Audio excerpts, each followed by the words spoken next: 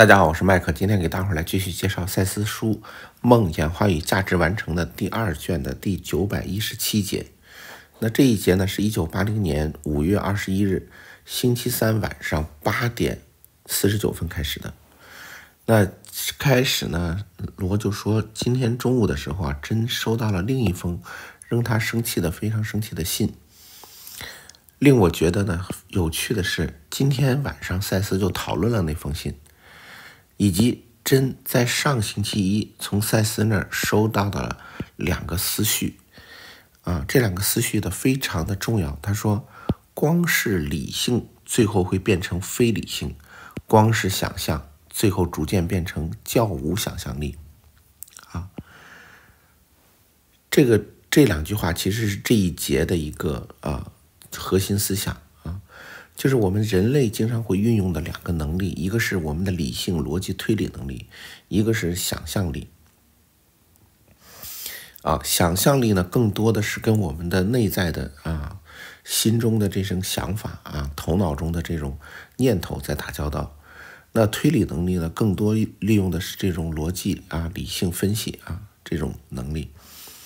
人类的这两种能力呢，要把它结合好啊。就像是说，理性的东西里头有想象吗？有想象，没有任何一个理性的分析里头一点想象都没有。啊，如果你学过这个系统的学过理工科的知识，你会知道，很多理工科的这些东西都是建立在一些前提，也就是一些想象的这个啊基础之上的。啊，直到现在，我们的物理学的很多很多的理论都是想象出来的啊，都是。呃，数学的一些概念，或者是在数学概念都没有的基础之上，啊，只是靠一些科学家的想象，然后照着这个方向啊，再去寻找一些相关的证据，啊，这么得出来的，啊，而想象也是一样啊，想象里头一定有逻辑，如果没有逻辑的想象，啊，那就是天马行空的胡思乱想啊，就是如果想象里头任何逻辑性都没有。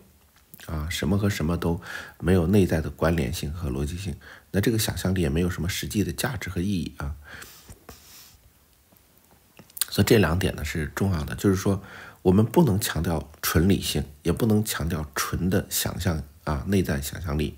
这两者必须得有效的结合啊。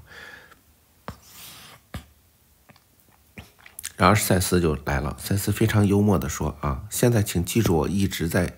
这是他幽默的在说这件事啊，一直在强调的这些意识单位并不是中立的、数学性的或者是机械的。啊，赛斯借着上节课的那个隐形粒子的角度啊，把隐形粒子和意识单位做了一个对比，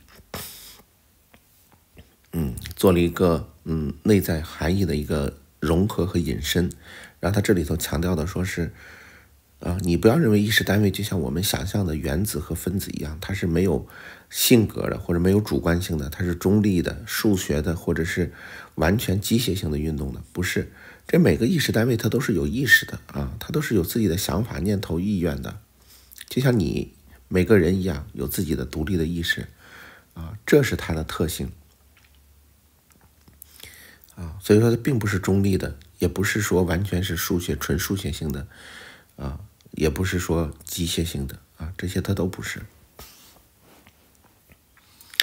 他说，意识单位呢，是你能想象出来的最小的意识的一个小的一个包裹啊，就是一个可以给它所谓包裹，就是这个意识跟别的意识它是可以区分开的啊。他是用这个“包裹”这个词，但他打了一个引号，因为意识本身是不能包裹的啊，但是为了。跟你讨论的方便啊，他把最不能再分的最小的这个意识单元啊，他给他起了个名字叫意识单位啊，这是你要理解他啊。他说呢，而不曾啊，而不管而不管任何相反的这个想法，基本上啊，意识跟尺寸啊没有任何关系啊，意识跟尺度没有。关系不能说我这个意识很大啊，这个意识要占有很大的空间，那个意识占有很小的空间啊，或者这个意识很复杂，那个意识这个啊大小多少啊，它没有这个概念的。如果说假设说意识跟尺度有关，跟尺寸有关的话，那么就会需要一个像世界这么大的球体来涵括单单一个细胞的意识。啊，再次说过无数次，说如果一个细胞的意识幻想成你们人类能够理解的这样的一个存储啊，用你们人类的现在的硬盘也好啊，内存也好啊，用你们的这样这种存储方式来存储一个细胞的意识，那它的容量有多大呢？啊，假设用硬盘来存储的话，将是有这个地球这么大啊，就是一个地球这么大的硬盘啊，全是硬盘啊，都不够存储一个细胞的意识的，所以说它不是。啊，按照尺度的方式来理解、来来衡量的。所以呢，他说，既然是这样的话，那你们的肉体生命是一个非常了不起的自发秩序的一个结果。所以这样的来说呢，我们的每个细胞的意识都这么复杂啊，那我们的生命是由无数个细胞啊。五十万亿个细胞，五十万亿啊个细胞组成的人体，那它的意识有多少呢？是不是就五十万亿个地球这么大的啊？如果换算成人类能够理解的存储容量的话，所以说你就知道人体的复杂啊，不是我们的科学所能够去理解和探测的啊，因为它不在一个尺度上。他说：“假设啊是这样的话啊，用这个信息量来说的话，就这样的结果。所以从这个角度来说呢，你们的生命，他说你们人类的生命啊，他说你的肉体的生命啊，就你这个肉体啊，它活着，它是由啊意识单位自发的形成了身体的秩序。记住自发性啊。”自发性是宇宙的一个基本规则之一，啊，以宇宙十一大基本法则，自发性是其中一个。你说它怎么就形成了啊？它不是怎么形成，它自发的就形成了啊。他说：“你对世界的体验，大部分啊是由你的想象力以及推理能力决定的。”就是你怎么理解这个世界，或者你怎么体验这个世界，就是由你的想象力和推理能力决定的。这里头它用一个大半啊，并不是完全啊，记住啊，不是全部啊，还有一小部分是不依赖于你的想象力和推理能力的。那这个不是我们这一次要讨论的问题啊。啊，你还有其他的能力啊。但是大部分都是由想象力和推理能力决定的。嗯，说这些能力并不像通常进化信念啊，像并不像通常的进化信念所以为的，随着时间的发展。他说这个，你的想象力和推理能力是你认知和感知这个世界的能力，而你认知和感知这个世界的能力，并不是随着时间的推移。啊，而不断的演化，越来越强的，啊，它不是像我们想象的啊，从一开始很弱，然后后来越来越强，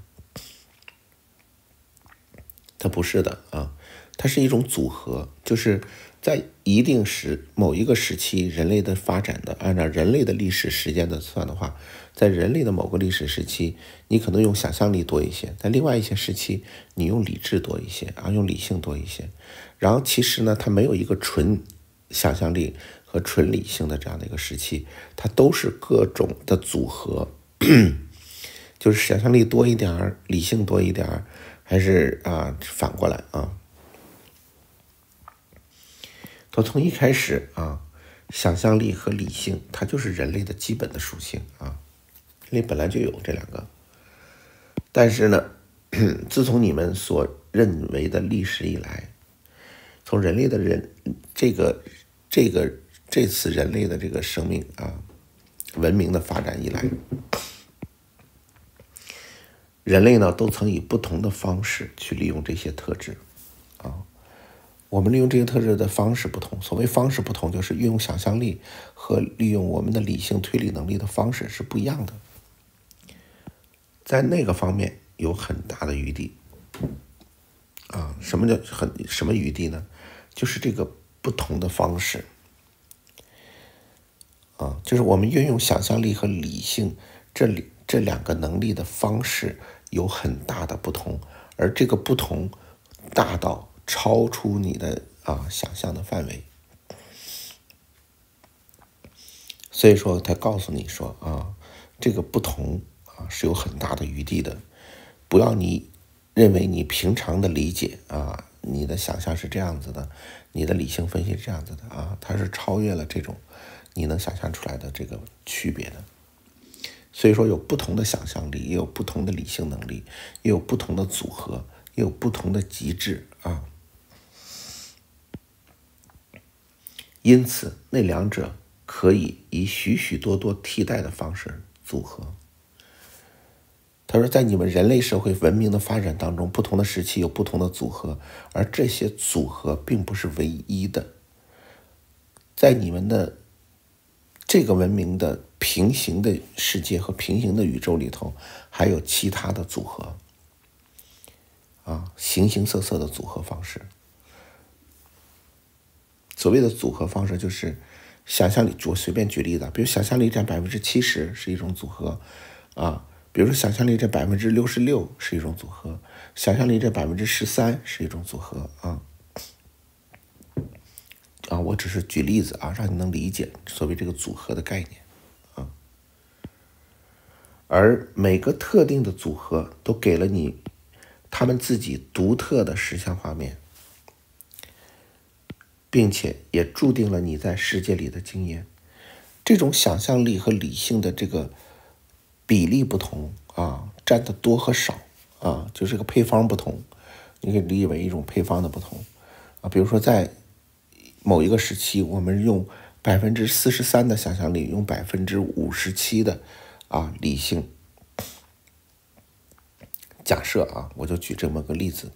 那百分之四十三和百分之五十七是一种组合，而这种组合呈现出来的这个世界的啊，我们体验这个世界的感受，和另外一种，比如说百分之三十三和百分之六十七的组合，它对这个世界的感受和体验是截然不同的。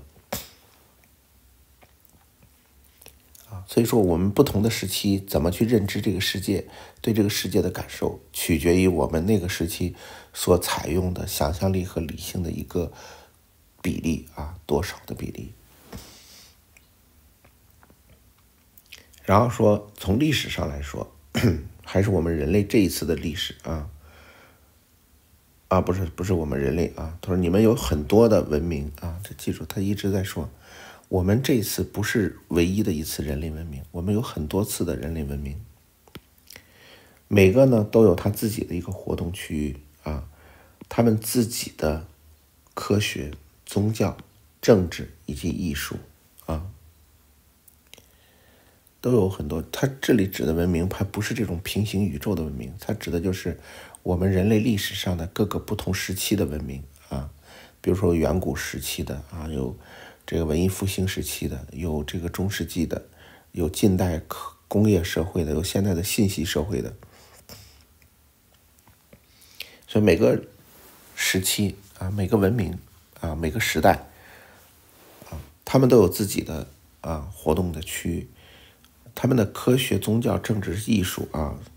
所有这些代表了想象与理性去形成一个架构的种种的不同的方式。而透过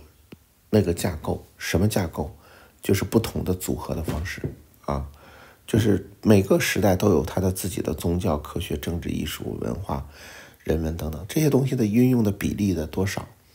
就用多少灵性啊，理性用多少想象力的啊，这里面的比例不同啊，就是这个架构就不同，架构不同啊，我们这个时代就不同，时代所呈现出来的特征特色也不同。你们体验到一个多少一致的实相，虽然体验不同，感受不同，但是这些不同比例啊，虽然好像感受不同的实相，但是你能感觉到这些不同比例去感受到的这些实相的背后，隐隐约约有一个统一的或者是一个内在的实相，是一致的，啊，就是你不同的历史时期，比如说你是用想象力去认知这个世界，还是你用纯科学的理性的角度认识这个世界，啊。用这两个极端的角度来说吧，比如说纯想象力和纯理性，它多少都会让你感觉到，他们有背后有一个东西是接近的，是一致的。只是世界假设实相是一致的，只是你认知实相的这个角度不同，你可以这么来理解。但是呢，那个本质的那个实相它是不变的。所以说呢，你不论用什么样的方法，不论用什么样的角度。用什么样的体验啊？你最受感最后感知出来的东西啊，是接近的，或者是说接近于一致的啊，这是很有意思的一件事情啊。他那么人有时候曾经强调想象的力量，他开始举例子了啊，就是在某些时期啊，某些时期，而让想象。了不起的戏剧性的光，照亮它周遭的具体事件，所以那些事件大半透过那些光的色调被看到了。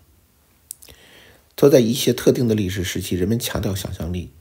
啊，什么事情都要想象，通过想象力等东西，而外在的事件是通过内在想象力的这个色调所照亮了，也就是你都给它上色了啊，你看花。也不是花，是花神。你看树是树神啊，都有了它内在的啊灵性在里头了。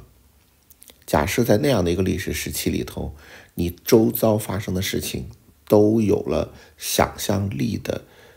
解释或者是一个着色啊，比如说 这个自然界的自然现象啊，也不是自然现象了啊，这变成老天爷一会儿发怒，一会儿哭泣。啊，一会儿老天就像个小孩的脸一样啊，说变就变，所以这是不是用想象力的结果啊？你想象有个老天爷，老天爷是一个情绪化的小孩儿然后他一变化，我们的人类的这个自然环境就会发生改变啊，比如老天爷发怒，就会有洪水啊、地震呐等等啊，这些就用想象力来解释他周围发生的所有的事情。在那些情况里啊，外在事件变成了想象力的戏剧性的力量的一个磁石啊，就是外在的这些发生的事情是吸引你用想象力去解释啊，成为了一个这个触发或者是一个呃吸引它的一个点啊，这大自然发生的一些事情，人类社会发生的一些事情啊，我们就会用。啊，想象力的这个戏剧性的力量去解释它啊，去感受它。对内在事件的强调超过了外在事件啊，这时候人们更强调于内在事件啊，比如说什么有东海龙王啊，掌握着这个全国的雨水的调配啊啊等等等等啊，就是这种啊求求雨呀啊，他觉得只要呃。向老天、向龙王求雨啊，龙王就会下雨啊，这些完全都是内在信念在起作用，对吧？内在的活动。于是呢，世界的东西啊，世界的东西不只是因为它们本身是什么，而也因为它们在一个内在的意义的世界里的地位而变得重要起来。啊，世界上的这些物体啊，万物不再是因为它们本身是什么，而是因为你给它赋予了什么样的含义和意义，就在你的内在的这个想象力的世界里头，给它赋予了什么样的意义和地位，它才变得重要了。啊，啊，比如说一颗石，一个石头，那在理性的世界里头，它就和石头，可是在一个想象力很丰富的世界里呢，它就可以变成一个仙石。啊，变成一个宝石，变成一个有灵气的石头。你还记得《西游记》里面的贾宝玉是什么吗？哎，贾宝玉就是一块石头啊，只是宝玉一块玉啊，一个石头啊，天上的一个仙石啊，到人间来就变成一个人所以你就知道，那在如果在现代社会，那一个石头就是石头啊，不论它是翡翠，它是玉，它还是石头啊，它不会跟人有挂上什么关系啊，所以这就是不同的时代啊。当然，在这种例子里，有很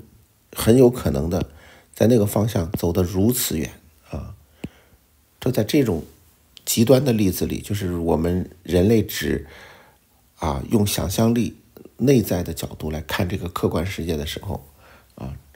就是走到极端极致的时候，以至于自然的实践在其象征性的内涵的重量下，几乎像是消失了。啊，在这种前提下，我们人类觉得自然事件都不重要了啊，都是我们内在想象力的结果啊，情绪化的啊，不论是内在情绪化的，还是外在啊其他人的情绪化的啊，对吧？比如说，你觉得你伤心了，老天也跟着下雨了啊；某些伟大人物去世了，他老天也会下雪啊。什么冤案出现了，那老天也会六月飞雪等等，这些东西都是类似的事情啊。近年来的潮流，则适得其反啊。在最近现在的这个社会，跟他上面举的这个时代的例子正好相反，我们已经不再啊信任想象力的东西了，因此。想象的能力被认为是极为可疑的。你现在跟别人说这块石头有灵性，这个树里面住着一个神啊，叫树神啊，这个花是一个精灵，叫花仙子啊，这个就只能是小孩子的这个啊，这个这个层面上，在正主流社会里，没有人会这么认为啊。所以说，想象力的就是可疑的东西，同时。外在的事件则被认为是实相的唯一面貌，啊，外在物质世界这些东西才是真实的、唯一的。结果，你们有的是一种非真即假的啊世界，所以说你们就有了一种结果，就是不是真就是假。世界上不存在这样中间地带，要么真实存在，要么就是虚假的啊，不存在的啊。而在其中。好像生命最深的问题，可以用某种复选测验来相当正确的、恰当的回答似的。啊，赛斯再次去嘲笑人类在科学上的幼稚。他说：“你们人类的深层次的问题，生命最核心的问题，啊，生命的意义，生命从哪儿来？啊，这些东西，科学家想通过一次一次可以重复的。”精确复制的啊，所谓科学的实验就是能够复制的啊，所谓复选就能够复制的啊，每次都可以实验结果都一样的，科学才承认这样的东西啊，想用科学实验来回答人类的生命的本源的核心的问题，他说你这不就是痴人说梦吗？啊，怎么可能呢？于是人的想象力仿佛就与错误连在一起了。在这种时代里头，现当今时代，想象力啊，他就认为是跟错误在一起。只有理论有理论根据的推理啊，有证据的东西，他认为才是真实的。想象的就是想象的啊，没有任何的真实性可言啊，更不谈不上正确啊。只有一个例外，什么例外呢？除非你想象力的产品可以被利用来。啊，利益我们唯物性的这个存在，啊，就是除非你的想象力有利于科学的唯物性的这个啊观点的这个存在，比如说你想象了一个发电机，然后你把它发明出来了，然后把它做出来了，哎，他认为这种想象力是有意义的、重要的，因为你最后做出了一个实际的东西来。如果你的想象力做不出这种实际的东西来，他认为这个想象力啊，就没什么实际的意义，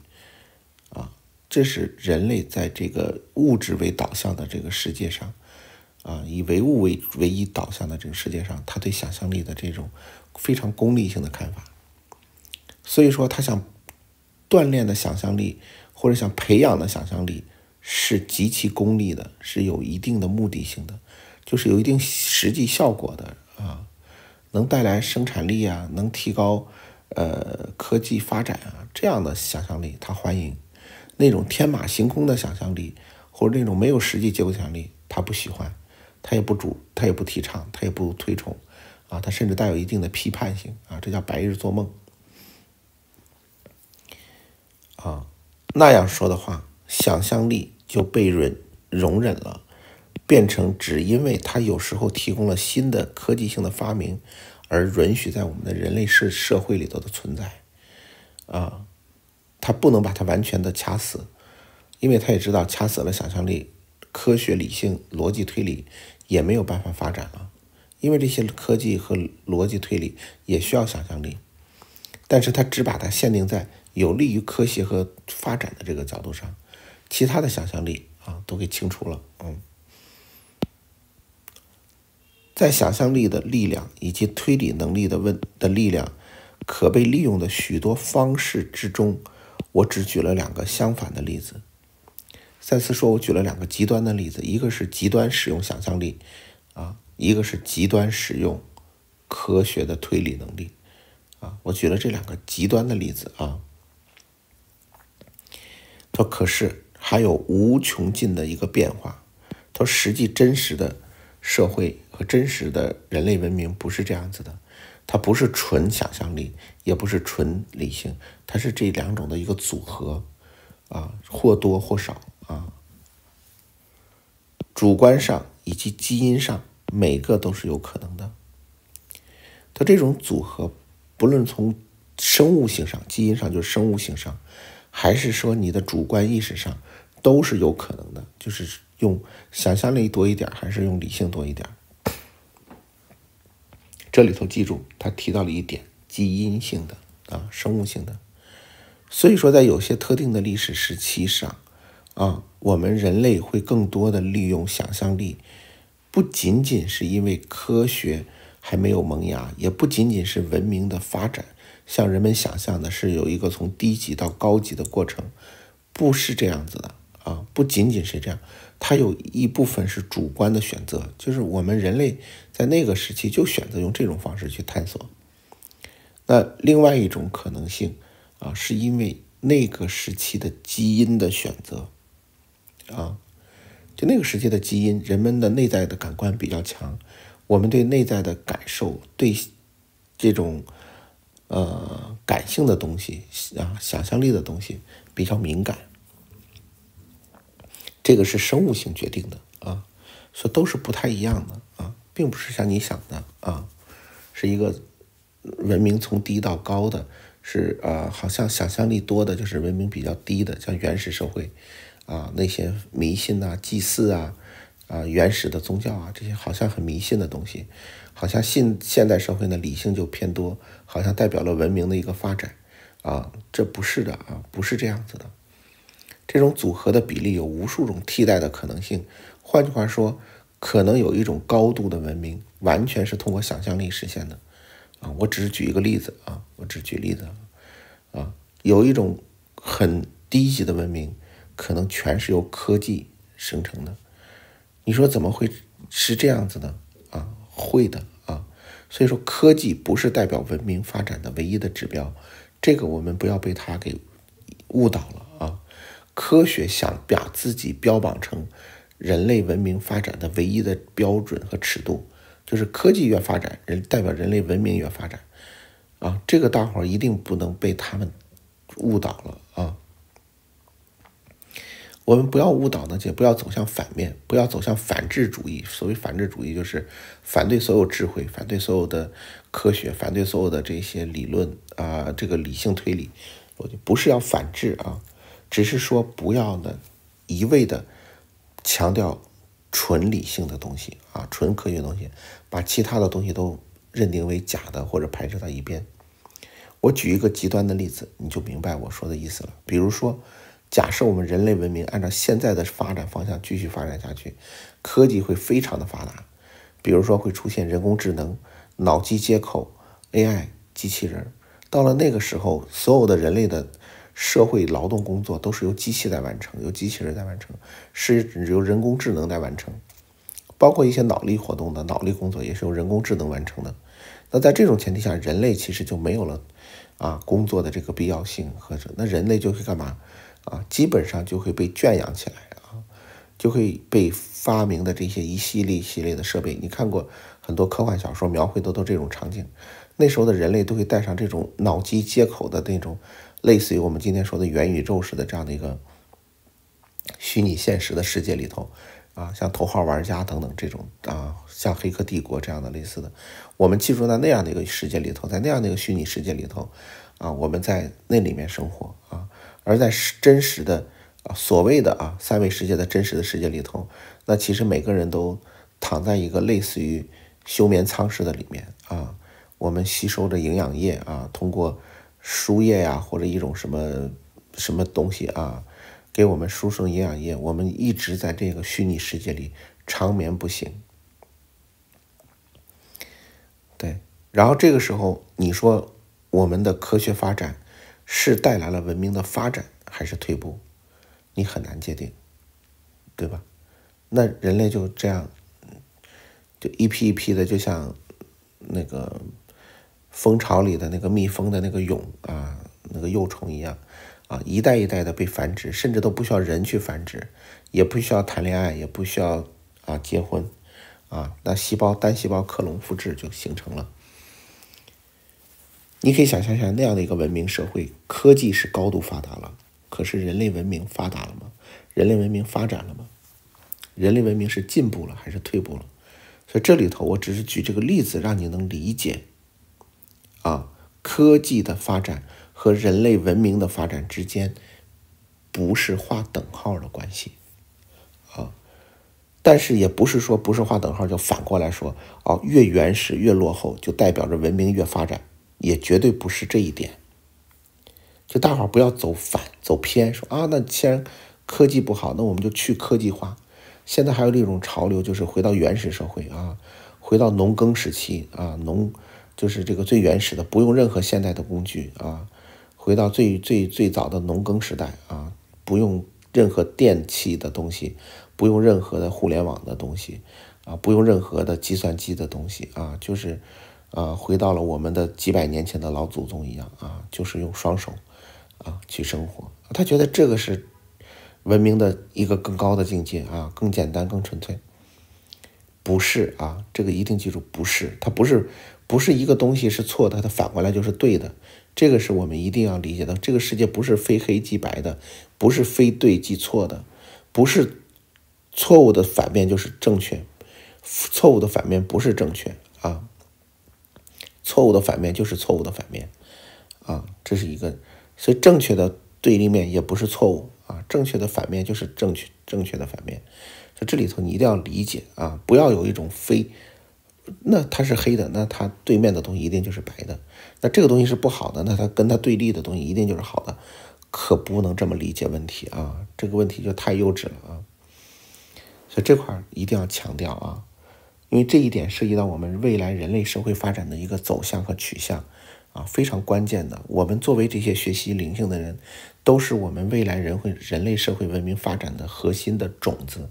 我们自己如果不能保持一个中正的一个态度的话，就会很危险啊！一定记住啊，不要走向啊，这个叫反智主义上去啊，就退退文明、退工业化啊，就是完全回到原始农耕时期，是不对的啊！啊，说当然还有一些你们作为一个人物种、一个族类还未曾发展的变化，他说你们现在还有很多变化没有经历过呢，啊。就是这种不同比例的啊，对世界认知还有很多很多我们没有可能性，我们还没有经历过的，就是这种理性和感性、想象力和逻辑推理之间的这个比例啊。说鲁伯呢，今天收到了一个显然会被视为精神分裂症的一个男人的来信，鲁伯觉得很难过。不只是由于那个人的情况，并且是由于其哲学上的暗示，鲁伯想：天哪，为什么有人会形成这样一种实相呢？啊，我们不知道这个信的具体的内容，我们现在只能通过他的这个描述来猜。啊，这是一个精神分裂症的男人啊。首先，精神分裂症啊，如果你呃了解一点基本的医学常识啊，精神分裂啊，这个人生活在一个他自己的世界里头，基本上啊啊，基本我接触过啊不多的这样的几个人啊，他们是这样子的啊，他们看到的世界跟你是不一样的啊。比如说他在看电视，然后电视里头。啊，在演一个过去的一个战争片儿，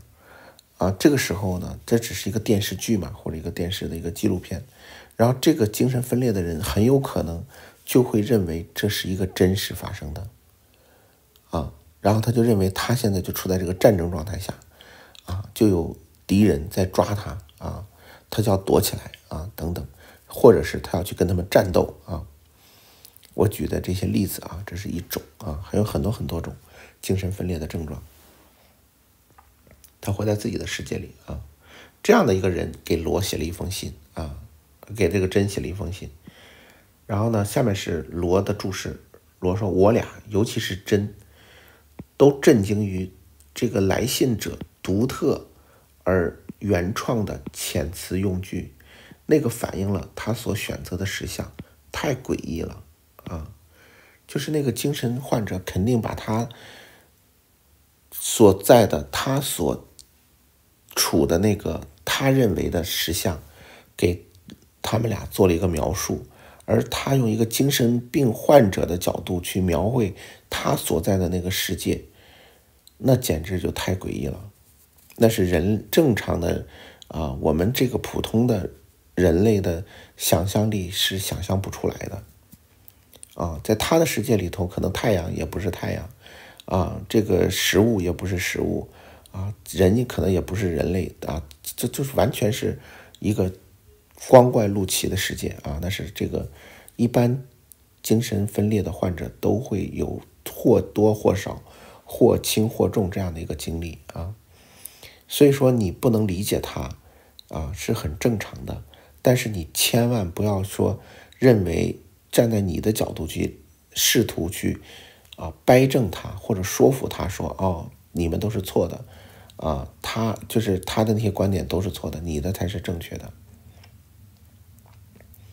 你能明白我的意思吗啊这只是他用想象力和用理性的比例的不同你不能说哪个比例就是绝对正确的你不能说百分之五十五十这样的比例是最正确的那百分之。七十用想象力，百分之三十用逻辑推理能力，就是错误的。这里没有正确和错误的这个说法，只是这个比例不同，代表你体验的不同。那这些精神病患者啊，很多的时候是大部分是用想象力占多数，啊，用想象力占多数，超过了一定的比例的时候，他跟这个现实社会中就显得有点格格不入，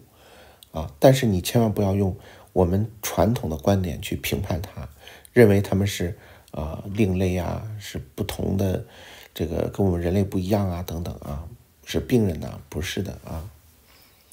他只是跟我们这个时代所持的这个比例不同啊。如果他放在那个远古时、古代的某个时代，可能他这样的人是正常的，我们这样的人才是神经病啊。啊，先让我们来看看精神异常的这个问题啊。赛斯再次强调，他说强调个人的完整性是非常重要的，这句话要把它画起来，而非通常给予任何一一组症候的概括定义。赛斯说，人的完整性永远大于所谓的你们人类的一个标准啊。我们所谓心理学也好，精神分析学也好啊，这些很多的时候都会要想要制制定标准。啊，这是我们人类的一个特征，在上一节里头谈到了，我们人类愿意用，呃，概念、标准、分类来考虑问题，所以这时候呢，你就划定一个人类的标准啊，这时候呢，只要不符合这个标准的呢，你就认为他是个神经病啊，是个怪人，是个精神异常。赛斯再次强调，没有所谓的精神异常。每个人的人格的完整性，他个人的完整性是高于一切的啊。他这个人，他用这种方式体验世界，那是他的权利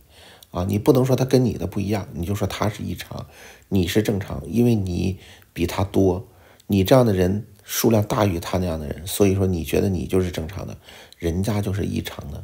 啊。这个概念一定不能有啊。你要尊重他的。个体的差异性，你要尊重他作为一个人格，他的完整性，你要尊重他有权利用他喜欢的方式，啊，用这一节课的话来说，用他喜欢的比例啊，百分之多少用想象力，百分之多少用客观理论的推理能力去认知这个世界，这是他的权利，也是他的选择，啊，这作为他的这个人格的完整性应该得到被尊重，啊，而不是被打压、被治疗。啊，被去纠正过来，对吧？我们举个例子来说，那所有的科学家，他们的理性推理能力的占的比例都比一般正常人，我们所谓的正常人要高。那从他的角度来看，我们这些人都像傻瓜一样，因为你们不理智啊，不理性啊，他很理智，很理性啊，对吧？那如果发展到极致，你知道有的那个学医学的这些人。啊，有某些这些，我只说某些人，那他只坚信他所学的东西，啊，那那这个时候到了一定的极致，我们其他的普通人看他们，反而觉得他们很怪异，啊，他们很怪异，对吧？怪异在哪儿呢？你可能不理解。我举个例子啊，比如说，那相信科学的人就认为，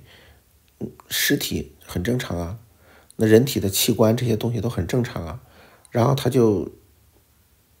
比如说他会，啊，比如说有的有的啊，我就举例子，有的这个医学学院的这个学生，不论是本科本研究生和不有的就会跟尸体天天待在一起啊，他就把一些人体的关节的或者一些器官啊或者一些标本，他甚至会有的人会带到他的。办公室啊，有的人甚至会带到他的宿舍啊、寝室去研究。这对很多人来说，这不是这个人就太神奇了啊，太怪异了啊！拿着尸体啊，或者人体器官的某个部分啊，彻夜研究啊。但是对他来说，这有什么？这是一个科学的精神呢，对吧？如果你一般人觉得，这都大惊小怪，那你们太愚昧了，啊，什么鬼啊，神呐，什么不干净啊，什么这，你们这太，太愚昧了啊！我举这个例子，只是想告诉你，不同的比例在想象力和理性的比例上，我们看待世界的角度是完全不同的啊。只不过呢，我们普通人和这些科学家呢，他能达成一定的共识，所以说呢，也就是他理性和想象力的比例呢，还没有超出一定的这个。范围啊，我们还基本上认为他们也正常，他们基本上也认为我们也正常，他也能理解我们，啊，所以说他没有达到一定的那个阀值，就那个界限。而所谓我们认为的精神不不正常、精神异常的人，是超过了那个界限的人，啊，所以说这就是一个不同的人站在不同的角度怎么看问题的啊。所以说没有所谓精神异常的问题啊，赛斯给精神异常打了引号，因为从赛斯的角度来说，没有精神异常这回事啊，每个人都是独一无二的，选择了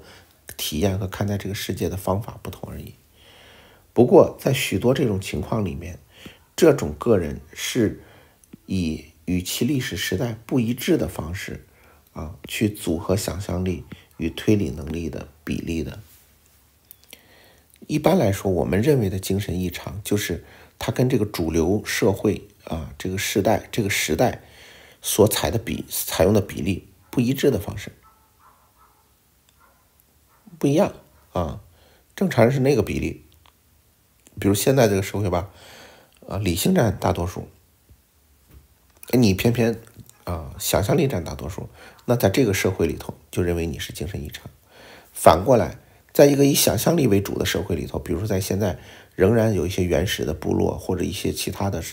特殊的这个地区或者社会里头，它仍然是想象力为主的。比如说南美的一些部落里头，啊，或者一些原始非洲部落里头，而这个时候呢，你偏偏以科学的所谓的精神，啊，你生活在那个世界里头，那在他们认为来说，你就是精神异常。啊，赛斯带着一点讽刺，他接着说：“去宣传一个啊储备大量的原子弹啊，以便维持世界和平的人是疯子。”他说：“现在的人类都宣传说，我们发展核武器是为了保持世界和平。我们现在的社会是不是这样子？是这样子呀，都在拼命发展核武器啊啊！”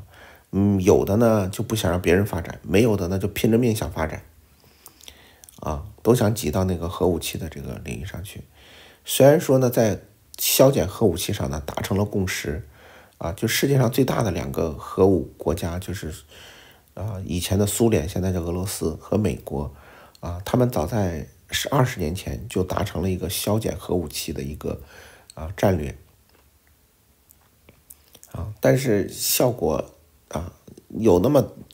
一些年是效果比较好的啊，双方有计划、有目标的消除、销毁他们的核武器啊，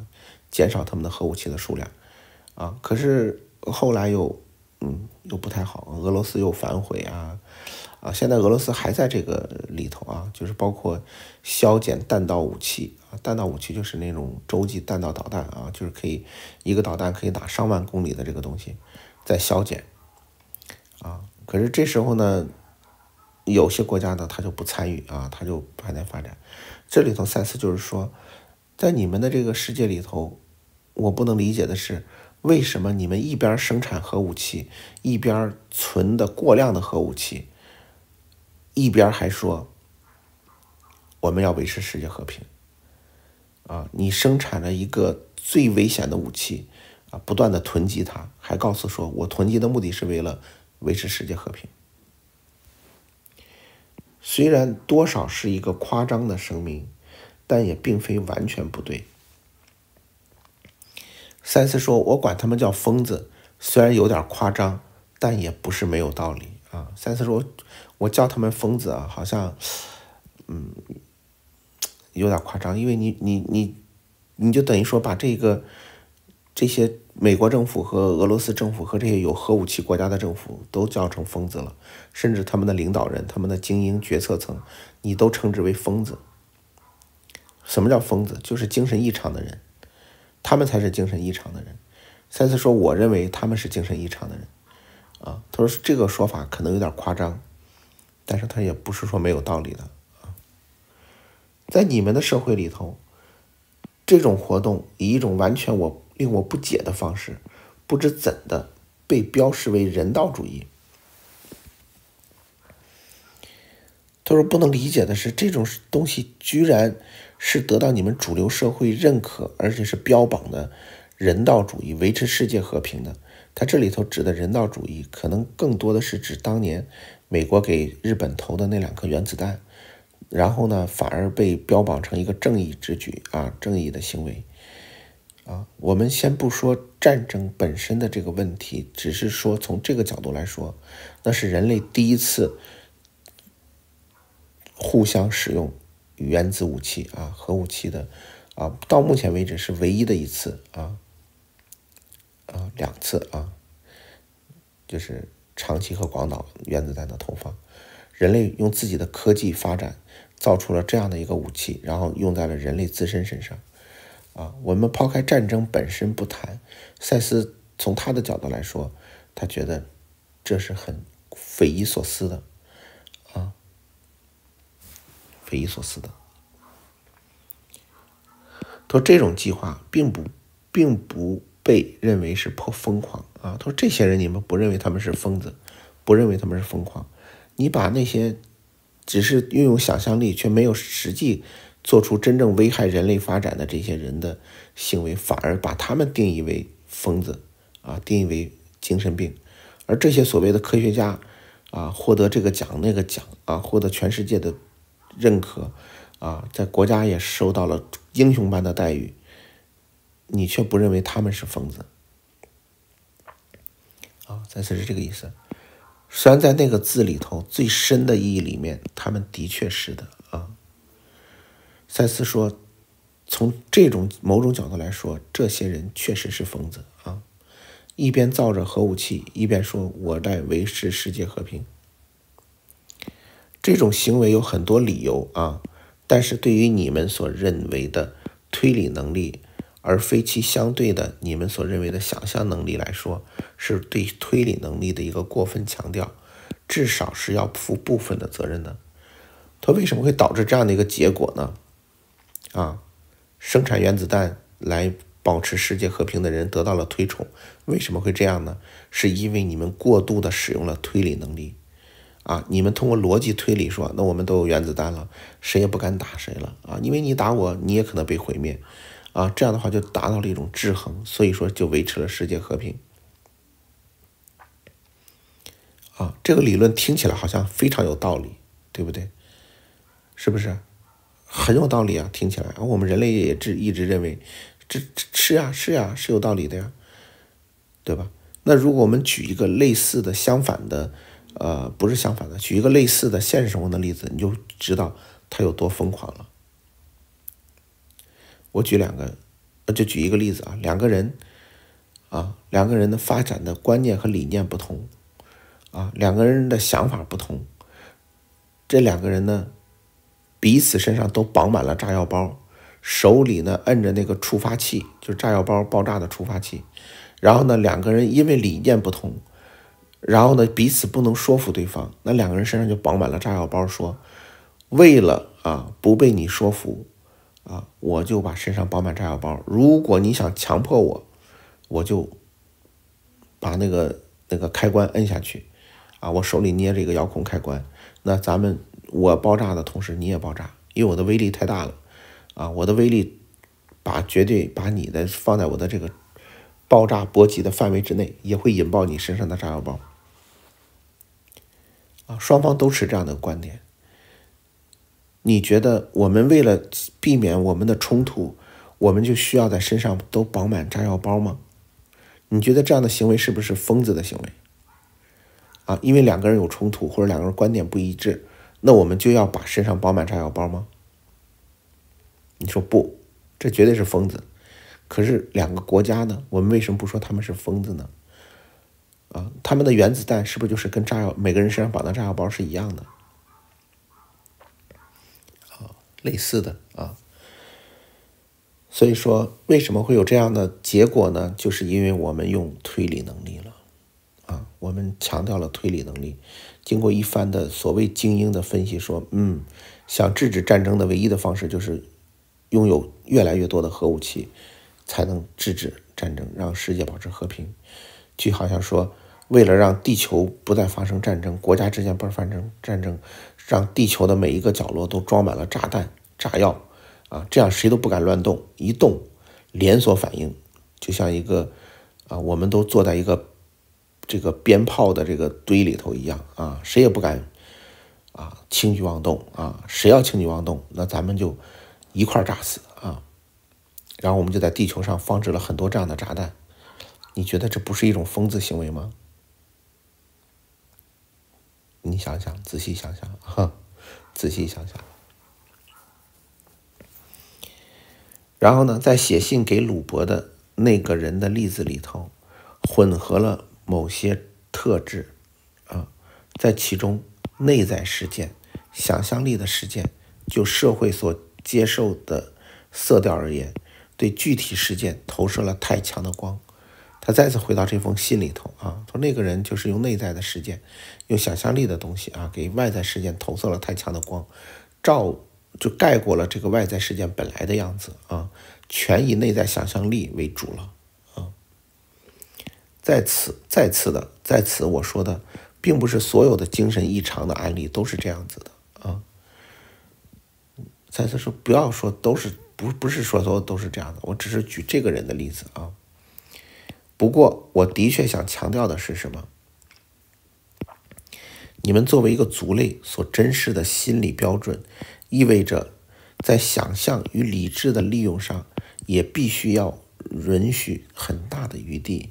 否则的话，你们可能会变得被锁在一个僵固的意识姿态里头，在其中，想象与理性两者都无法再前进了。这这段话的意思，再次就是想说，我们人类应该允许这种我们不符合我们主流价值观的这种想法的存在。他们不是精神异常，它是给我们人类的，呃，想象力和推理能力的这个发展提供了很大的一个余地啊，就让你知道啊，如果用想象力用到极致会怎样，用理性用到极致会怎样，给了你很多不同的洞见，这样的话呢，才能让你的理性和想象这两个能力同时发展，啊，同时发展。如果你僵化了，说我们制定一个最优的比例，啊，最优的比例假设不是啊，我们现在社会的这个理性为主的，我们是一个理性百分之五十，想象力百分之五十，啊，这是一个最优解，我们固定下来，这样好吗？不好，啊，你说这不就是比较中正的态度吗？不好，啊。这种方式，你所谓的固定和僵化下来的结果，就会让我们的人类的意识僵化在一个特定的模式里头，然后不会有新的进展和发展，啊，就不会再有发展了。啊，它就僵化在那儿了。啊，所以这不是大伙儿想象的啊，嗯，最好的啊，最优的就是最好的结果，不是的啊，这是人类还是有这种二元对立的这种思维模式下的一个。错误的观念啊，他总想找一个最优解，总想找一个最好的东西啊。当你告诉他不要用这种角度去思考问题的时候，他的生命一下都迷茫了，他的意义一下就找不到了。他不认为多样性和体验所有的可能性是应该探索的，他认为探索所有的可能性的目的是从前找出最优解啊。他永远有一个最优的概念啊。他说我体验的目的是找到最好的啊，最。最佳的组合啊，想象力和理性的一个比例啊，这是我们容易掉进去的一个误区啊！不要这样去思考问题啊！我们就两者都无法前进了。当这两者都无法前进的时候，人类文明就停滞不前了啊！非常重要的是，你们要了解，在你们的心理行为之内，有了不起的心理上的多样性。他说：“你要明白一点。”就是多样性是正常的，就你们的心理结构里头不是一个标准的范式或者一个固定的模式，它是多样性的，多样性才是心理结构的一个最主要的特征。而那些心理经验的种种变化都是必要的，所谓种种变化就是多样性啊，有人这么想问题，有人那么想问题，都是必要的，要允许人家这样去思考。啊，不要想着给他都整齐划一的变成统一的一个东西啊！他们给你 重要的心理回馈，就是这些多样性啊，不同的想法，不同的看待世界的方式，是给了你一些不同的回馈，让你能知道哦，世界上还有人这么来看待问题，世界上还有人这么来认知这个世界，而以整体而言，极有益的方式来锻炼你们的。能力的伸展范围，啊，这种不按套路出牌的心理发展或者心理模式，是可以让我们的心理可以成长，有很大的延展性和延伸性和发展性的一个基础。如果你把这些啊所谓的精神异常的人都给砍掉，变成全社会都按照一个思维模式去思考的话，一种心理模式去发展的话。那个人类社会的文明就会停滞不前了。恰恰是这些啊奇奇怪怪的想法，反而丰富了你啊。那个来信的人想要大半住在他自己的世界里头啊，那个精神分裂的人想要住在他自己的内在世界里头，他没有伤害任何人，他也没有去伤害别人啊。大部分的时候，他都能养活自己，他做一份简单的工作。赚钱养活他自己啊！从大部分的观点来看，他对实相的观点是偏差的，啊，从他来信里头可以看到，他对世界和实相的认知是有偏差的，啊，是有偏差的，不是说他的内在世界对实相的认知是对的，是不对的啊，是有偏差的，但是他给世界增加了一个若非如此就不会有的味道，但是他的这种对世界偏差的这种看法，反而给我们的世界的多样性提供了一种新的口味、新的视角。啊，新的体验啊！如果不是因为他，你也不可能会有人想到有人会以这样的一个方式啊看待这个世界，你也不会想到有人活在他自己的这样的一个世界里头，他自己的世界原来是那个样子的。而透过他的古怪，到了某个程度，他让别人看到他们对石像的僵化看法啊，的确处处都有破绽。啊，很有意思啊！他说，这个人这么极端的啊，看待这个世界啊，生活在自己的内在的一个诡异的世界里头，他发展到了极致，会让其他人，让我们这些所谓的正常人会反思一点：我们如此僵化的看待我们的这个世界。用我们认为正确的角度去理解我们这个世界，是不是跟他一样？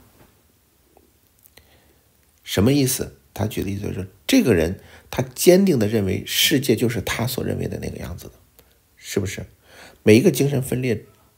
的人，或者每一个精神我们认为异常的人，他都认为这个世界就是如他所认为的那个样子的，对吧？他是深信不疑的。谁去跟他说不是这样的，世界其实是这样子的，他是绝对不会听的。对吧？让你觉得他很怪异，你觉得他已经生病了。而赛斯想说的是，通过他的这种极端的表现，啊，这么这么特殊的这样的一个极端的表现，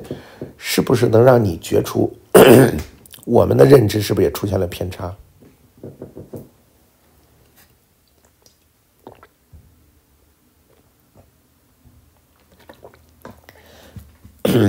我们是不是也像他一样如此的僵化，如此的不可理喻？就像他认为啊，就像他认为世界是那个样子的，而我们认为世界是这个样子的。你不同意他的观点，他也不同意你的观点，啊，是不是这个道理？然后赛斯这里头话锋一转。他认为他的主观世界是那个样子的，你认为这个物质世界是这样子的，可是我们的物质世界是这个样子吗？我们现在学习了这些灵性的治疗，发现也不是这个样子呀。它有个内在的隐形架构，这是百分之九十九的人都不知道的，或者很多人是不理解的，对吧？我们生活在一个主观世界，并不是一个客观世界，这也是很多人并不理解的。所以说，到底是这些精神异常的人生活在自己的主观世界里是正确的呢，还是我们所谓认为我们大多数人都认为的客观世界真实存在的是正确的呢？赛斯的意思就是说，你通过对他的这种怪异行为的反思，你就能够发现自己啊在认知上的一个局限，也就是说，处处都有破绽。你认为这个世界是这样子的话，如果从另外一个角度来看，也是到处都有破绽。他说：“我并不是要将他或者是他的那类人给他理想化啊，我并不是要把他们啊说的很好很好啊，我们都应该像他那样，不是的。我只是指出了，你可以以其他的方式去用你的想象与理智。嗯，三次说，我只是告诉你说有这种可能性。”有人就是用那种方式来用他们的想象力和理性的，嗯，就比如写信的这个人啊，这是这种可能性是存在的而已。事实上，这些方法不但在基因上具有可能性，再次再次强调，这些人有些人天生就是如此啊，他没有说的那么直白，就是基因上具有可能性的意思，就是说生物性上的，就这些人生下来就是跟别人不一样的。你不要问为什么，说哎，他怎么会变成这样子了？他怎么会这等等？不用啊，不用去一定找出一个原因来。这有些是基因性的，就是生物性的，你也可以把它称之为遗传性的，对吧？科学家也发现了一定的特点，就是有些精神性的疾病是可以遗传的，啊，这就是基因性的啊，并且在基因性上。很有出现的可能性，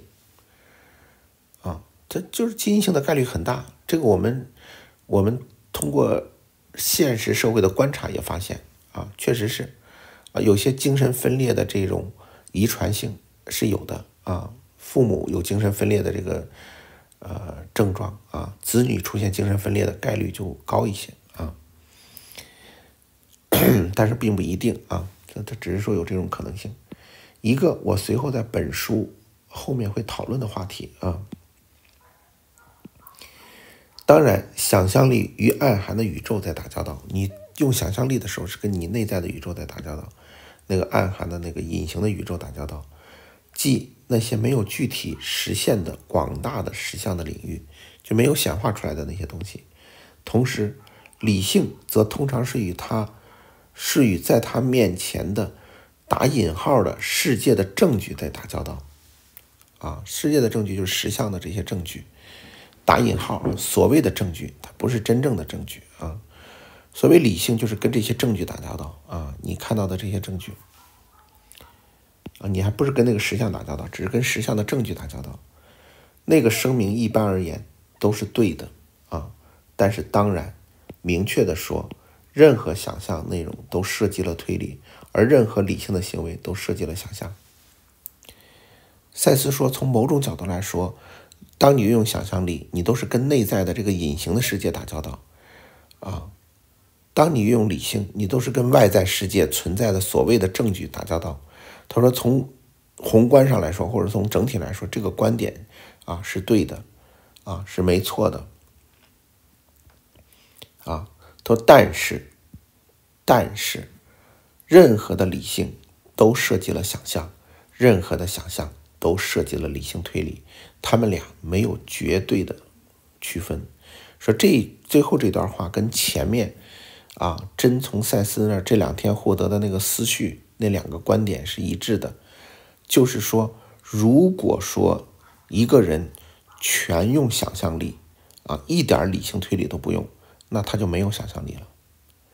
一个人全部用理性逻辑推理啊，只看客观事实和证据，没有一丝一毫的想象的话，他连这个理性和逻辑推理能力也没有了啊。就是说，纯理性到最后变成了非理性，纯想象到最后变成了一个不会想象啊。赛斯就强调的这一这个这两个之间的辩证的关系啊，他要告诉我们这两者之间的辩证关系是这样子的。然后这一节就结束了啊。他说：“现在呢，真为我俩传来了一些其他的资料。”然后在九点五十七分，这一节课就彻底结束了啊。所以关于这部分的内容啊，没有什么太深的难度，但是却深刻的影响了我们人类文明发展的一个将来的可能的走向和历程啊。这一部分的知识，他在很多的章节里头都反复强调过。啊，强调的最多的是在《神奇之道》那本书里头，它虽然表述方式不同，啊，感想表达的意思是一样的。换句话说，这样的一种观点啊，如果能够成为我们现在这个时代的，逐渐成为我们人类社会的一个共识的话，那我们人类社会的发展、文明发展就会迈入新的阶段，上升一个新的台阶，我们的文明会进入新的发展时期。如果不是，我们像现在一样过分强调理性，把理性推理、逻辑推理、科学当做唯一的发展的话，那我们的人文明就不会得到提升啊！还是我前面说的那话，科学技术的发展不代表文明的进步和发展，文明的发展一定是在理性和想象这两者结合之下，才能带来真正的发展。这才是人文明发展的应该有的样子啊！偏向于任何一方都不对啊，纯想象力也不对，纯理性推理也。不对啊。我就简单的做了一个啊，给大伙儿做了一个梳理，是这样子。那好了，最后谢谢大家的收听，我们这节课的内容就到此结束了。祝大家都有神奇和美好的一天。